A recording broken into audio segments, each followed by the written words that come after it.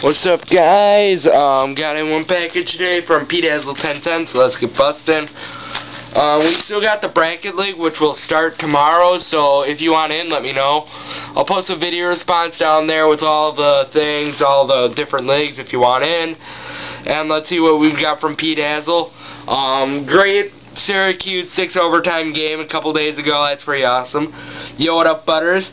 Had a few cards set aside for a possible trade but I figured I would just send them to you. Enjoy.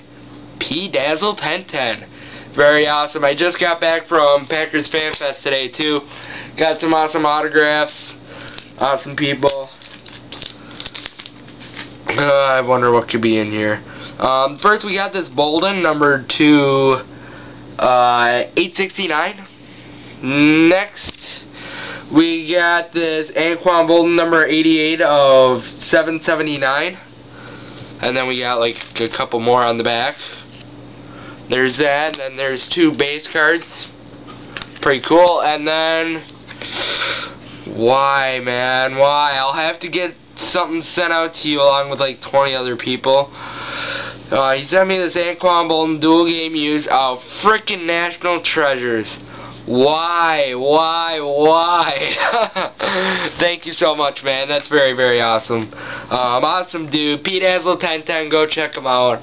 Um, I think that's about it. I still have mystery packs, still have cards for trade like you saw yesterday. Uh, I should try to get up some videos. I made a video at FanFest, uh, did some other random wacky stuff, so should try to get that up soon. And I think that's about it. Thanks you guys for watching and stay classy. Peace